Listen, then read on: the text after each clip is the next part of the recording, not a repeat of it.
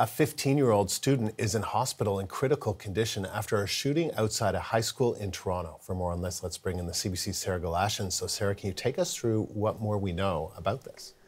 Well, so Andrew, what we heard from Toronto police is that this shooting happened just after noon, 12:02. Uh, one male student, uh, 15 years old, as you said, uh, shot in the parking lot outside Weston Collegiate Institute. Um, now, this victim, we were told, was shot in the chest, but was able in the parking lot to turn around, run back inside the school, where staff and faculty were able to uh, initially tend to him um, until an ambulance arrived transporting that uh, student to a trauma center and the student's parents notified.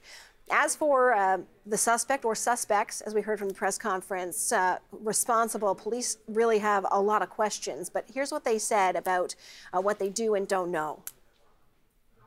Unknown males uh, drove by and um, obviously shot this gentleman. Um, they made good their escape um, in unknown direction. Uh, I do not have a description of the suspects or the suspect vehicle. What I can tell you is that our Guns and Gangs unit and um, 12 Division Major Crime and 12 Division uh, Criminal Investigation Unit is on scene and we are canvassing for witness and video, video information to the point of video. They are asking any residents in the area who might have uh, home surveillance cameras, anyone driving in that area, specifically near Pine Street and McDonald Avenue uh, around noon, to check those uh, cameras for any video, to, to notify police if you have anything, because again, they don't know the color of the vehicle or even how many individuals they are specifically looking for. So that video could be crucial here. Uh, they cannot say whether or not they think this student was targeted, but what they are saying is that he is currently in critical condition, and Andrew, his injuries are considered to be life threatening. And the school was in lockdown for most of the day. Where do things stand now?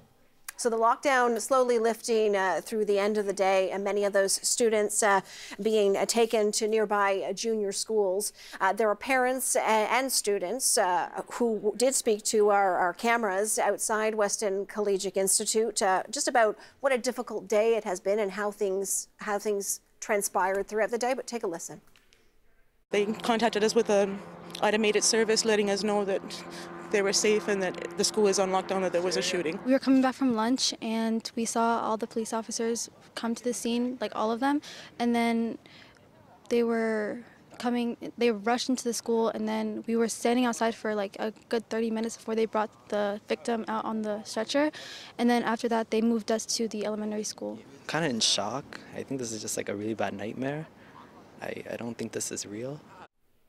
So as you heard that one student there say, the, the, students from Weston Collegiate Institute transferred to nearby junior schools as police continue to investigate that crime scene. Andrew? Sarah, thank you. The CBC Sarah Galashan.